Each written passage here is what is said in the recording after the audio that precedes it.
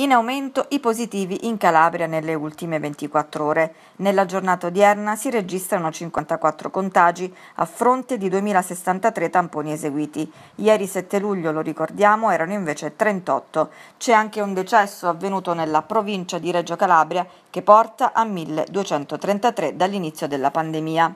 In calo i ricoverati nei reparti di cura, stabili invece le terapie intensive. Sono 189 i guariti mentre 134 in meno gli isolati a domicilio. Territorialmente, dall'inizio dell'epidemia, i casi positivi sono così distribuiti in tutta la regione. Catanzaro 45, 9 in reparto, 1 in terapia intensiva, 35 in isolamento domiciliare.